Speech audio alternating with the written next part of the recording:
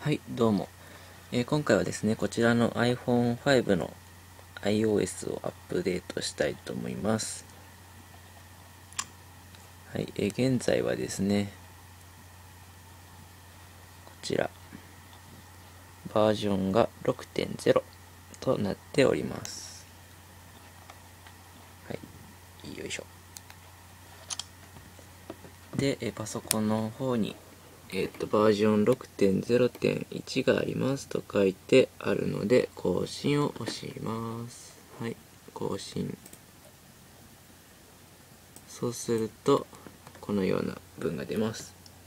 iPhone は iOS6.0.1 ソフトウェアに更新されます。更新は Apple により検証されます。ということで、更新を押します。更新。で、ソフトウェアを抽出中となりました。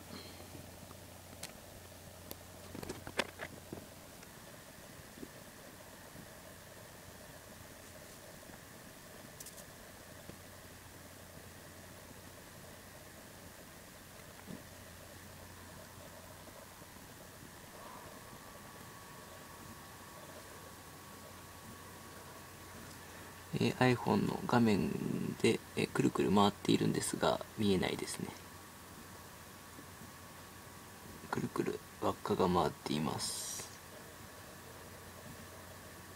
はいリンゴマークですね。iTunes につないでくださいというマークが出ました。はいまたリンゴマークですね。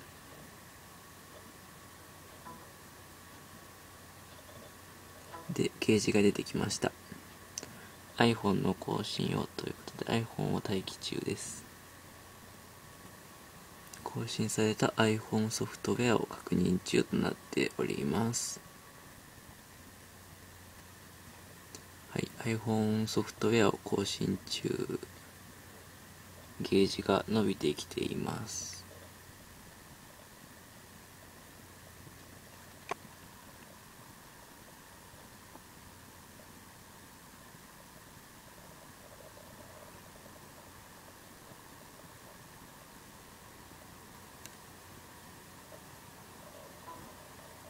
はい、えー、iPhone が再起動されました。はい。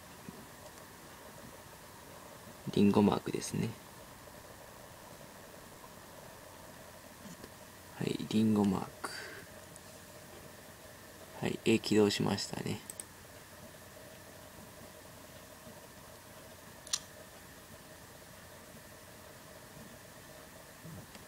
はい、えー、パソコンの方の表示が6.0.1となっております。こちらですね。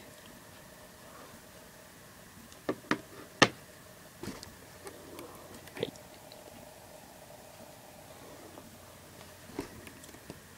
で、えー、っと、よいしょ。では、iPhone の方で設定で、えー、っと、一般情報ですね。バージョン6.0.1になっています。ということで、えー、バージョンアップの方が終わりました。は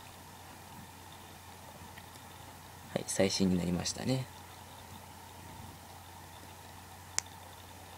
はいこんな感じです。